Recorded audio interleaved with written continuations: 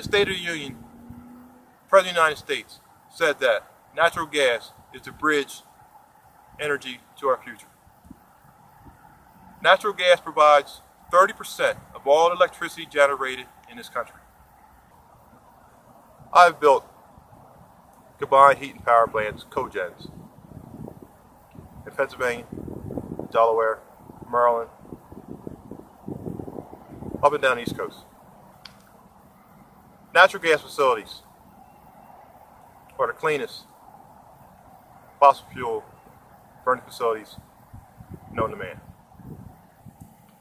As a Boilermaker, the last two to three years in this region have been devastated. There has been no work. It is easy for me to go to North Dakota and find a job than it is to find a job in my trade here in the state of Delaware. We will only be able to bring back manufacturing jobs to the United States if we use our cheap, abundant natural gas resource.